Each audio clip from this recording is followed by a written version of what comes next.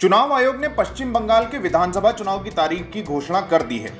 उत्तर प्रदेश के मुख्यमंत्री योगी आदित्यनाथ ने 2 मार्च को बंगाल में रैली की।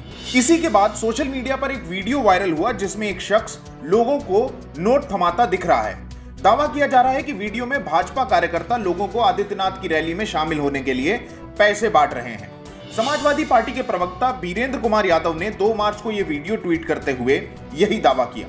Twitter user at the rate Sudhir underscore Y D V और कुछ फेसबुक यूज़र्स ने भी यही दावा किया। असल में यह वीडियो पुराना है।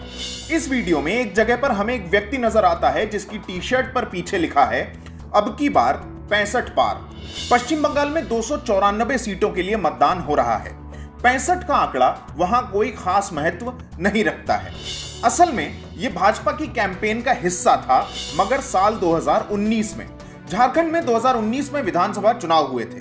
भाजपा ने अब की बार पैंसठ पार का नारा दिया था। झारखंड और बिहार के न्यूज़ आउटलेट न्यूज़ विंग ने यह वीडियो 17 अक्टूबर 2019 को पब्लिश किया था। इसके डिस्क्रिप्शन के मुताबिक, झारखंड के पूर्व मुख्यमंत्री रघुवर दास की रैली में आने वाले लोगों को दो दो सौ रुपए बांटे जा रहे थे। ऑल्ट न्यूज़ स्वतंत्र रूप से इस दावे की पुष्टि नहीं कर सकता है। लेकिन हाँ कम से कम इतना तो पक्का हो ही जाता है कि ये वीडियो बंगाल में योगी आदित्यनाथ की रैली में पैसे बांटने का नहीं है। 2019 में झारखंड में एनडीए को 81 में से 25 सीटें मिली थी, जो पिछले चुनावों से 12 कम थी।